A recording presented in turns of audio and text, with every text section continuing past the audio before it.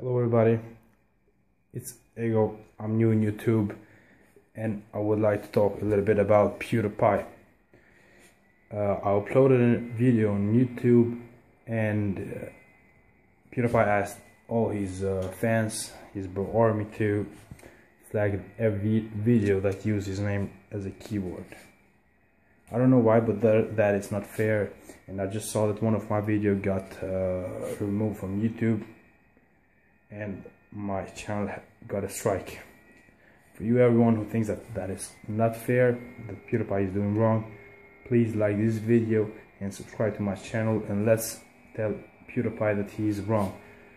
I was a, fan of him, but uh, now I'm very skeptic that I will watch his videos anymore. But I think I will go against him and make videos against him.